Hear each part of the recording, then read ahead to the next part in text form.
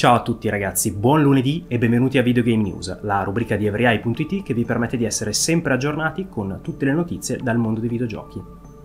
Oggi cominciamo da Xbox One. La software house giapponese 5PB ha infatti annunciato, tramite le pagine della famosissima rivista giapponese Famitsu, l'arrivo a breve di un'esclusiva, potrebbe trattarsi del famosissimo Shinasuti Kimira Project, un uh, qualcosa di uh, molto chiacchierato nei mesi antecedenti. Uh, la mente dietro il progetto potrebbe essere quella di Makoto Asada, ossia il capo di Cave. Naturalmente rimanete con noi per futuri sviluppi su questa situazione. E rimanendo sempre in casa Xbox, Microsoft ha recentemente registrato un trademark per Phantom Dust. Lo ricorderete, era un titolo uscito in esclusiva per la prima Xbox ed era diretto da Yukio Futatsuji, ossia il creatore di Panzer Dragoon. Si era già chiacchierato del possibile uh, ritorno di questo brand su Xbox One e Phil Spencer si era mostrato abbastanza propenso. Che sia proprio questo uno degli annunci che Microsoft ha in serbo per le tre, lo scopriremo tra pochissimo.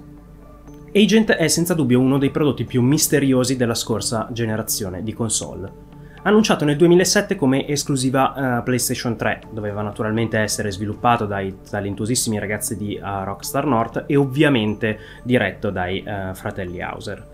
Le sue tracce si sono completamente perse tuttavia ed è soltanto di uh, qualche giorno fa la notizia che Rockstar ha rinnovato il trademark. Questo uh, potrebbe significare che il gioco è ancora in sviluppo. Naturalmente uh, Rockstar non è certo famosa per gradire molto le tre come palcoscenico per i suoi annunci. Quindi se mai dovesse esserci un annuncio relativo a questo titolo potremo aspettarcelo magari successivamente, ma rimaniamo comunque a vedere incuriositi da questa situazione. E man mano che ci si avvicina alle 3, i rumor e le indiscrezioni aumentano sempre di più eh, in numero e frequenza. Questa volta è l'insider eh, Shinobi 602 ad anticipare il fatto che Electronic Arts durante eh, lo show potrebbe presentare Battlefield SWAT, ossia uno spin-off sviluppato però da Visceral eh, Games che dovrebbe essere anche in questo momento al lavoro sul brand Star Wars con un titolo eh, ancora non annunciato.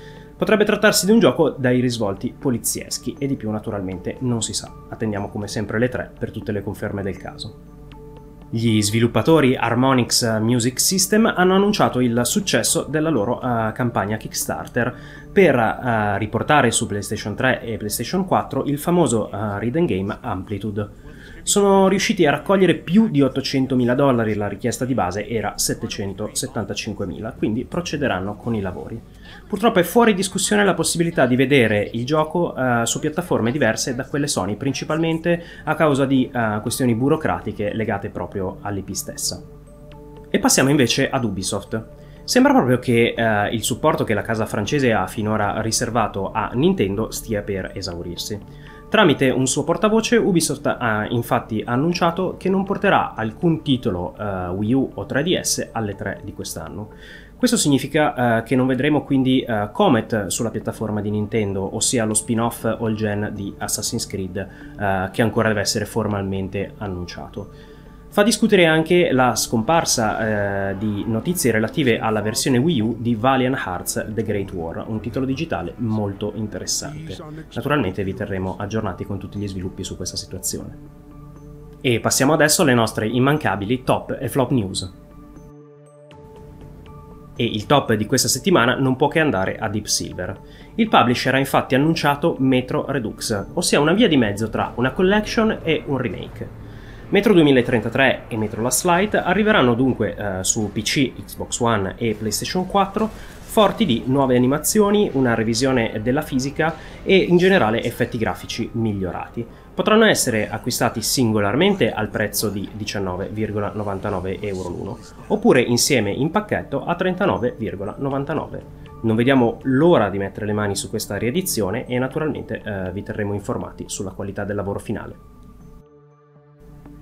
E il flop di questa settimana va invece a Disney Interactive. La casa ha infatti annunciato la cancellazione di Star Wars Attack Squadrons. Lo ricorderete, era stato annunciato lo scorso uh, dicembre e si trattava di un uh, free-to-play tutto dedicato ai combattimenti spaziali. La cancellazione di questo uh, progetto, peraltro, ci ricorda anche che in questo momento il brand di Star Wars è fortemente in mano ad Electronic Arts, che ha uh, DICE al lavoro su un nuovo Battlefront e Visceral Games al lavoro su quello che si preannuncia probabilmente un action in terza persona, ma che ancora non è stato annunciato. Per l'edizione di oggi era tutto, noi come sempre vi diamo appuntamento al prossimo giovedì. Ciao!